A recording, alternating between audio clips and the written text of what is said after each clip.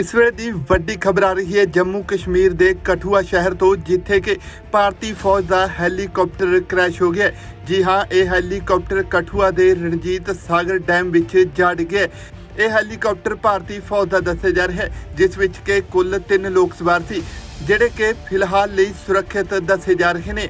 Helicopter crash ਹੋਣ ਤੋਂ ਬਾਅਦ ਰਣਜੀਤ ਸਾਗਰ ਝੀਲ ਵਿੱਚ ਜਾ ਡਿੱਗਿਆ ਹਾਲਾਂਕਿ ਇਹ ਹੈਲੀਕਾਪਟਰ ਕਿੱਥੇ ਜਾ ਰਿਹਾ ਸੀ ਜਾਂ ਫਿਰ ਕਿੱਥੋਂ ਆਇਆ ਸੀ, ਇਸ ਬਾਰੇ ਜਾਣਕਾਰੀ ਨਹੀਂ ਮਿਲੀ ਹੈ, ਪਰ ਸੂਤਰਾਂ ਮੁਤਾਬਕ ਇਸ ਹੈਲੀਕਾਪਟਰ ਨੇ ਟ੍ਰੇਨਿੰਗ ਦੌਰਾਨ ਆਪਣੀ ਉਡਾਨ ਭਰੀ ਸੀ। ਫਿਲਹਾਲ ਫੌਜ ਦੇ ਸਾਰੇ ਅਧਿਕਾਰੀ ਘਟਨਾ ਸਥਾਨ ਲਈ ਰਵਾਨਾ ਹੋ ਗਏ ਨੇ।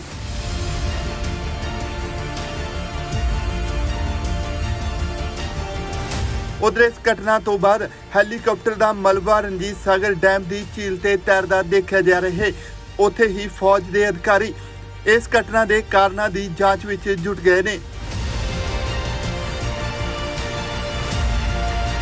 ਫਿਲਹਾਲ ਹੈਲੀਕਾਪਟਰ ਦੇ ਹਾਦਸਾਗ੍ਰਸਤ ਹੋਣ ਦੇ ਕਾਰਨਾਂ ਦਾ ਪਤਾ ਨਹੀਂ ਲੱਗ ਸਕਿਆ, ਪਰ ਮੌਕੇ ਤੇ ਮੌਜੂਦ ਅਧਿਕਾਰੀਆਂ ਮੁਤਾਬਕ ਹੈਲੀਕਾਪਟਰ ਕਠੂਆ ਦੇ ਰਣਜੀਤ ਸਾਗਰ ਡੈਮ ਉੱਤੇ ਘੁੰਮ ਰਿਹਾ ਸੀ ਕਿ ਅਚਾਨਕ ਇਹ ਹੈਲੀਕਾਪਟਰ ਕ੍ਰੈਸ਼ ਹੋ ਗਿਆ ਅਤੇ ਤਿੰਨੋਂ ਸਵਾਰ ਪਾਇਲਟਾਂ ਸਣੇ।